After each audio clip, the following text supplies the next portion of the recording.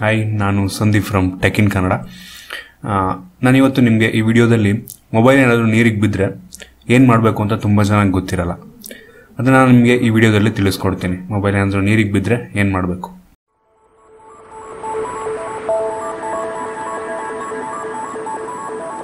ಕನ್ನಡದಲ್ಲಿ ಟೆಕ್ನಾಲಜಿ ಬಗ್ಗೆ ಬೇರೆ ವಿಡಿಯೋಗಳಿಗೆ ಟೆಕ್ ಇನ್ ಕನ್ನಡ ಯೂಟ್ಯೂಬ್ ಚಾನಲ್ಗೆ ಸಬ್ಸ್ಕ್ರೈಬ್ ಮಾಡಿ.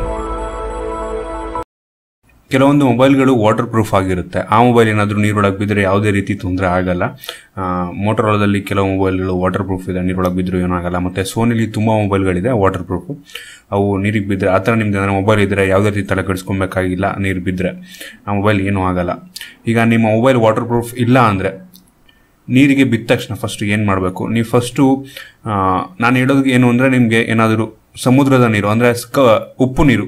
ಉಪ್ಪು ನೀರಿಗೆ ಏನಾದರೂ ಮೊಬೈಲ್ ಬಿತ್ತು ಅಂದರೆ ನಿಮಗೆ ಅದನ್ನು ಮತ್ತೆ ಆನ್ ಆಗೋ ಚಾನ್ಸಸ್ ತುಂಬ ಕಮ್ಮಿ. ಏನಕ್ಕೆ ಅಂದರೆ ಉಪ್ಪು ನೀರು ಇರೋದು ತುಂಬ ಎಲೆಕ್ಟ್ರಿಸಿಟಿಗೆ ಕರೆಂಟ್ಗೆ ತುಂಬ ಕಂಡಕ್ಟಿವಿಟಿ ಅದು ಶಾರ್ಟ್ ಸರ್ಕ್ಯೂಟ್ ಮಾಡಿಬಿಡುತ್ತೆ ಸಡನ್ ಆಗಿ ಮೊಬೈಲ್ನ ಅದರಿಂದ ಉಪ್ಪು ನೀರಿಗೆ ಏನಾದರೂ ಬಿದ್ದರೆ ಚಾನ್ಸಸ್ ಕಮ್ಮಿ.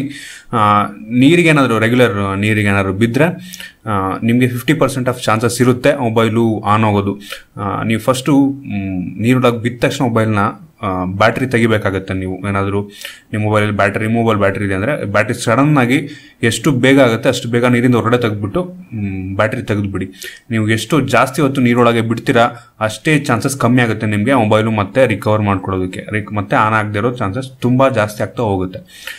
ನೀವು ತೆಗ್ದ ತಕ್ಷಣ ಬ್ಯಾ ಮತ್ತೆ ನೀರಿನ ತೆಗ್ದ ತಕ್ಷಣ ಬ್ಯಾಟ್ರಿನ ತೆಗ್ದ್ಬಿಡಿ. ಸಿಮ್ ಕಾರ್ಡ್ ಏನಿದೆ ಎಲ್ಲ ತೆಗ್ದ್ಬಿಡಿ. ನಿಮ್ಮ ಮೊಬೈಲ್ ಏನಾದರೂ ಬ್ಯಾಟ್ರಿ ತೆಗೆಯೋದಕ್ಕಾಗಲ್ಲ ಅಂದರೆ ನಿಮ್ಮ ಮೊಬೈಲ್ ನಿಮ್ಮ ಮೊಬೈಲ್ ಇರೋಂಥ ಸಿಮ್ ಇದೆಯಲ್ಲ ಸಿಮ್ಮನ್ನ ಮೆಮೊರಿ ಕಾರ್ಡ್ ಏನೇನಿದೆ, ಏನೇನು ತೆಗಿಬೋದು ನಿಮ್ಮ ಮೊಬೈಲಿಂದ ಎಲ್ಲ ತೆಗ್ದ್ಬಿಡಿ.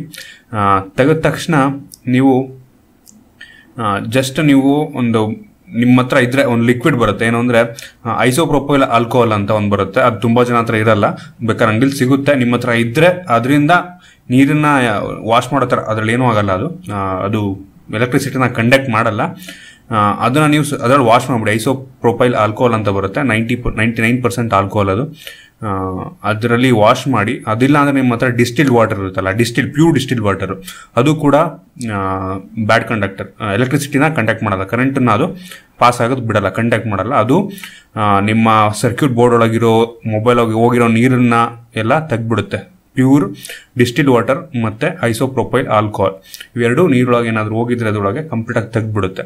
ಅದರಲ್ಲಿ ವಾಶ್ ಮಾಡಿ ಒಂದು ಸ್ವಲ್ಪ ಹೊತ್ತು, ಒಂದು ಐದು ಹತ್ತು ನಿಮಿಷ ವಾಶ್ ಮಾಡಿ ಅದರಲ್ಲಿ ನೀವು ಎದ್ಬಿಟ್ಟು ನೆಕ್ಸ್ಟು ಅಕ್ಕಿ ರೈಸ್ ಇರುತ್ತಲ್ಲ ರೈಸ್ ಚೀಲ ಇರುತ್ತಲ್ಲ, ಇಲ್ಲಾಂದರೆ ಒಂದು ಬಾಕ್ಸ್ ಒಳಗೆ ಹಾಕ್ಬಿಟ್ಟು ನೀವು ಅಕ್ಕಿನ ರೈಸನ್ನು ಮೊಬೈಲ್ನ ಅದರೊಳಗೆ ಹಾಕ್ಬಿಡಿ ಅದನ್ನು. ಹಾಕ್ಬಿಟ್ಟು ಬಾಕ್ಸ್ ಮುಚ್ಚಿಬಿಡಿ. ನಿಮಗೆ ಅದು ಒಂದು ಡಿಪೆಂಡ್ಸ್ ಅದು ಒನ್ ನಿಮ್ಮ ಜಾಸ್ತಿ ತುಂಬ ಟೈಮ್ ಆಗಿಲ್ಲ ಅಂದರೆ ಒನ್ ಡೇನೂ ಸಾಕು. ನಿಮ್ಮ ರಿಸ್ಕ್ ಬೇಡ ಅಂದರೆ ಅಟ್ಲೀಸ್ಟ್ ಒಂದು ಮೂರು ದಿನ ಅದರೊಳಗೆ ಇಟ್ಬಿಡಿ.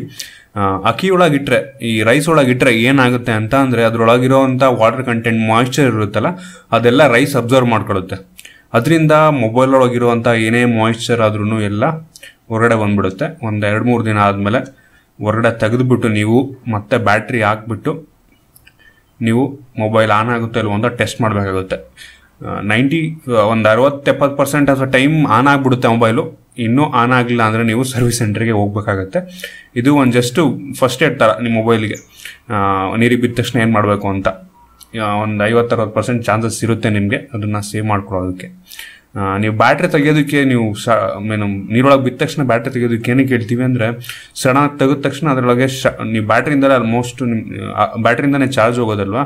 ಅದರಿಂದ ಬ್ಯಾಟ್ರಿ ತೆಗೆದ ತಕ್ಷಣ ಒಳಗಡೆ ಶಾರ್ಟ್ ಸರ್ಕ್ಯೂಟ್ ಆಗುವಂಥ ಚಾನ್ಸಸ್ಸು ಕಮ್ಮಿ ಆಗುತ್ತೆ. ಅದರಿಂದ ನಿಮ್ಮ ಮೊಬೈಲ್ ನೀರೊಳಗೆ ಬಿದ್ದ ತಕ್ಷಣ ಬ್ಯಾಟ್ರಿನ ತೆಗೆದ್ಬಿಡಿ. ಇದಿಷ್ಟು ಮೊಬೈಲ್ ಏನಾದರೂ ನೀರೊಳಗೆ ಬಿದ್ದರೆ ಏನು ಮಾಡಬೇಕು ಅಂತ ನಿಮಗೆ ಈ ವಿಡಿಯೋ ಇಷ್ಟ ಆಗಿದೆ ಅಂತ ಅನ್ಕೋತೀನಿ. ನಿಮ್ಗೆ ಏನಾದರೂ ಕ್ವಶನ್ ಇದ್ರೆ ಕೆಳಗಡೆ ಕಾಮೆಂಟ್ ಮಾಡಿ, ನಾನು ನಿಮಗೆ ಆನ್ಸರ್ ಮಾಡ್ತೀನಿ. ನಾನು ಬೇರೆ ಬೇರೆ ವಿಡಿಯೋಗಳಿಗೆ ಟೆಕ್ ಇನ್ ಕನ್ನಡ ಯೂಟ್ಯೂಬ್ ಚಾನಲ್ಗೆ ಸಬ್ಸ್ಕ್ರೈಬ್ ಮಾಡಿ ರೆಡ್ ಬಟನ್ ಕೆಳಗಡೆ ಇದೆಯಲ್ಲ, ಅದನ್ನು ಕ್ಲಿಕ್ ಮಾಡಿ ಸಬ್ಸ್ಕ್ರೈಬ್ ಆಗುತ್ತೆ.